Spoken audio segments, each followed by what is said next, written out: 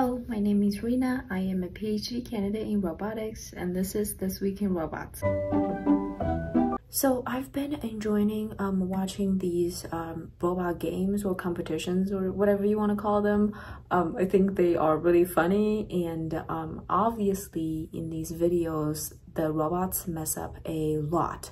And in this video, I want to talk about why they mess up. And specifically, um, they these robots often have these jittery, jerky movements, and seemingly they come from nowhere and are spontaneous because nothing is really bothering them.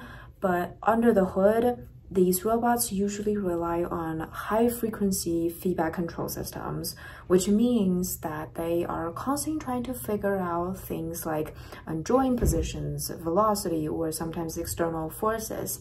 And because there are so many inputs, there are so many opportunities for mistakes to happen. So for example, one of the most common sensors that robots use is an IMU, which measures inertia. So if this sensor makes a mistake, the robot will think that it is falling even when it's standing just fine. And the result is the robot will scramble, try to correct itself and sometimes that causes a stumble or a jitter uh, or even falls. And the other thing is um, most times the kind of robots that are featured in these videos are humanoid robots, meaning they are bipedal. Um, so if you have two, only two limbs and one of them messes up, it's much harder to correct.